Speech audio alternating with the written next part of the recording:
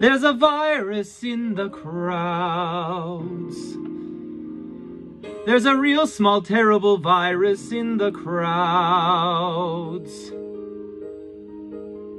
When you're out with friends in a crowded place and a person coughs and it's in your face, little more than a drop will begin the race to fever, cough, and chills.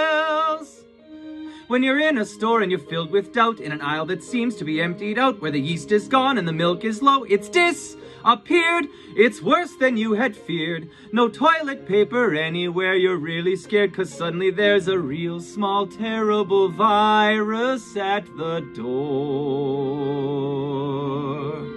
A real small, terrible, gruesome virus spreading some more.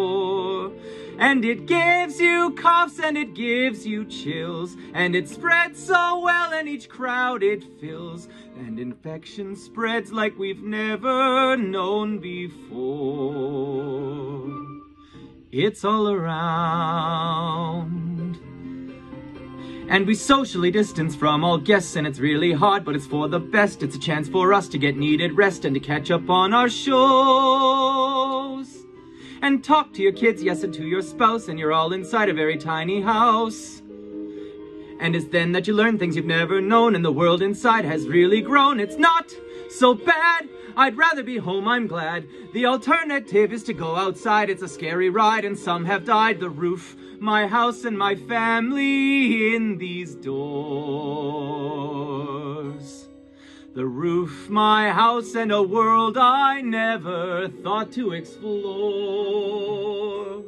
And I think of all of the germs out there, and I know that they are all in the air. So I stay inside, only different than before out of the crowds.